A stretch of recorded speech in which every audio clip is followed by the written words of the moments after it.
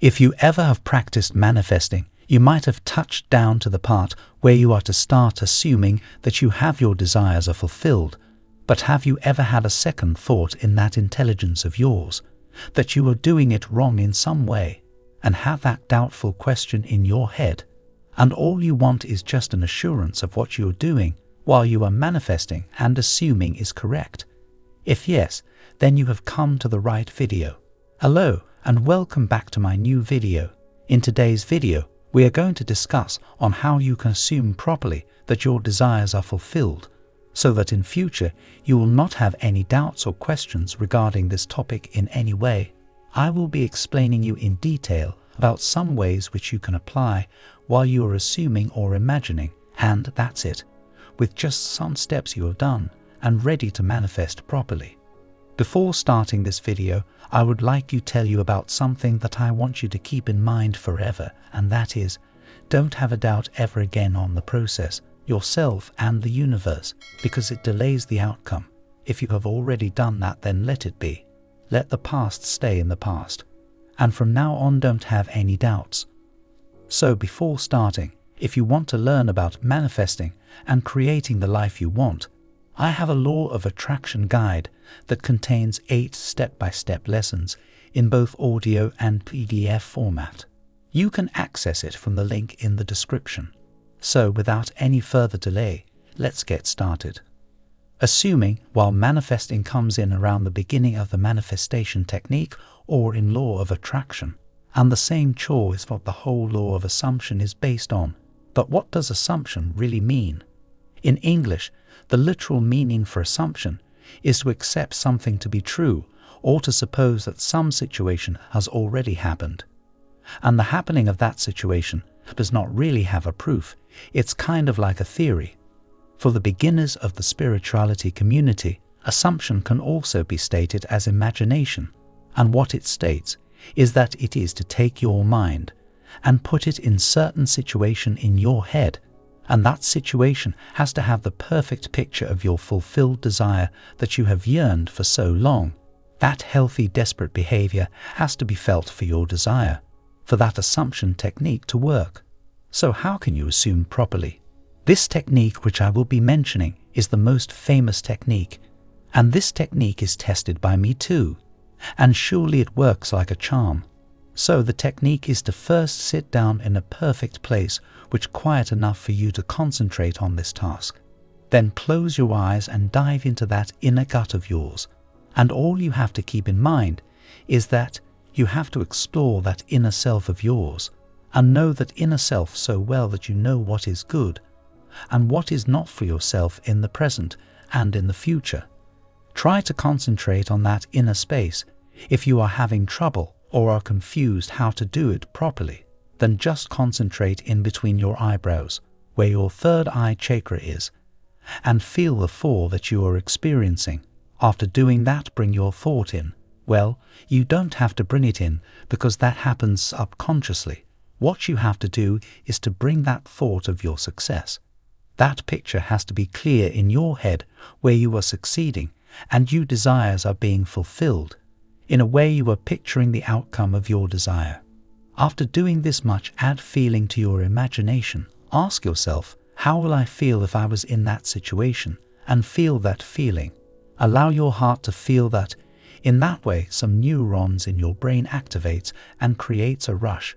And scientifically speaking, that rush which you feel for the first time when you assume that you have reached your destination is the same feeling that you will feel when that moment happens in real life. For example, imagine that you have participated in a cross-country race and you have trained yourself so much for so many running competitions that now you feel like you are a pro at this job. You reach the starting point and the bullet goes off. You give all that you have, your power, your concentration, your everything, and within some time you reach the finishing line and you are the first one there, how would you feel? Would you not feel proud and satisfied? That same feeling of win that you feel after winning is felt days before when you first hear about this cross-country race. Those same neurons are activated days before when you heard about the race for the first time. Similarly, when you are assuming that your desires are fulfilled, catch that feeling and try to hold it. What this does is, it activated those neurons and makes you feel good. Your subconscious also feels good, and your subconscious then forces your conscious mind to take actions towards your goals. Now let's go on with some examples. Imagine that you are manifesting money into your life. Follow the same above mentioned steps. First, close your eyes to get into that zone and feel the peace building within yourself. Then think how would you feel when you are that person who already has all your desires fulfilled. In this case, imagine you are richer than you actually are. For example, imagine that you received money from your client for a job that you signed up for, or your boss gave you an advance of three months, plus they added those bonus amounts. Or imagine anything that resonates with you and picture the balance of your bank account going higher and higher.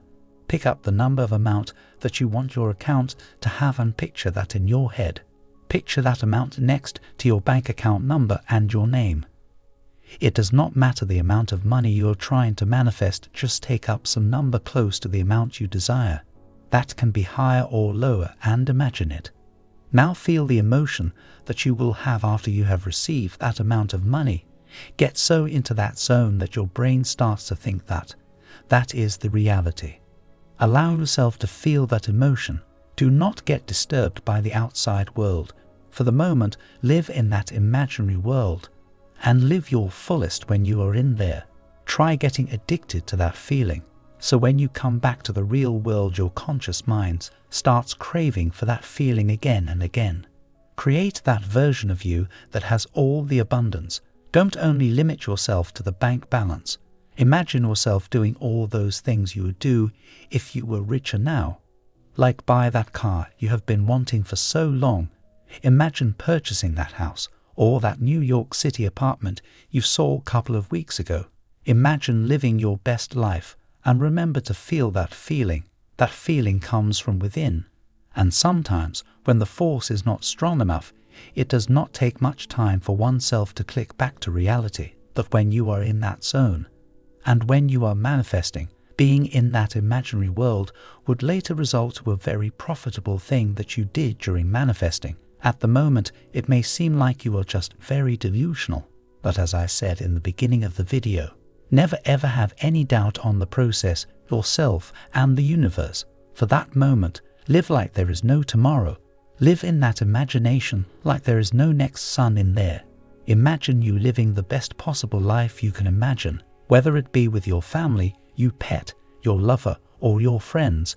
Include them in that world. Now, after you have had the feeling, don't let it go. Try catching it. Get a hold of that feeling. Like I said, live like there is no tomorrow. Feel the openness that your brain and your heart feels. That is you when you get the overall outcome of your hard work and your manifestation. Now you may feel like you are getting out of that feeling.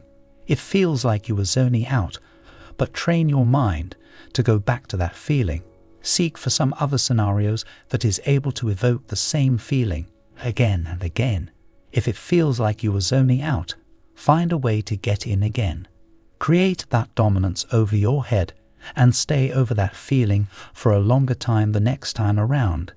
Carry out this process every day when you are manifesting, and you can see the changes happening in your life by itself. You don't even have to force yourself to do anything you are going to involve different tasks in your life without even noticing it. Like we discussed for money, you can do the same thing for other things like relationships, or getting into your dream company and being posted in the same job post you wanted to be in, or getting into your dream college, or anything you have been manifesting. So that all for today, we have finally come to the end of this video. If you have come this far, I thank you for listening to me. If you liked this video, press that like button down below and share it to your friends and family. It would mean a lot to me if you even subscribe to my channel for contents like this. Thanks for watching, and we will see you in the next video.